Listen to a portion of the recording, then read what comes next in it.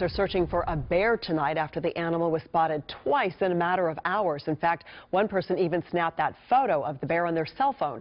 KCRA 3's Linda Mumma is live for us in Tracy now with a look at where the bear was spotted and the warning tonight from police. Linda?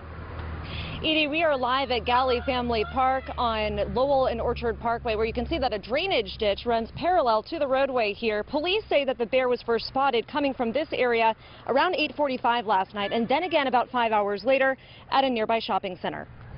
Where's the woodlands where a bear would be? We're not in like, you know, Arnold or anything. Why would a bear be down here? Workers in this busy Tracy shopping center are baffled by how a bear ended up here after the animal was spotted in the parking lot around 2 o'clock this morning. The first thoughts were maybe somebody had captured it and brought it in as a bad prank or something. Police say they searched the area for about five hours last night. This is a pretty unique situation. I've never heard, in 20 years, I've never heard of a bear in Tracy. And we're back at it again today. Uh, we don't know where it came from. It's possible from the hills, but um, really no idea at this point.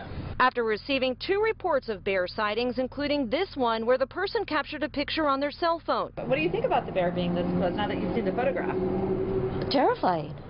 I'm really afraid, but at the same time, I'm concerned that the poor baby might get hurt. Or hurt others after another person reported seeing the bear near an elementary school in Park in a residential neighborhood just blocks away. My daughter uh, goes to West High, and she texted me this morning, Mom, there's a bear on the loose, so be careful. While alerts went out to the parents of students at nearby campuses, police are warning people not to approach, chase, or attempt to corral the bear, but to instead call authorities. The size of the bear doesn't look that big, but we don't know what kind of damage it could do, so uh, better safe than sorry. Just uh, let us let us deal with it.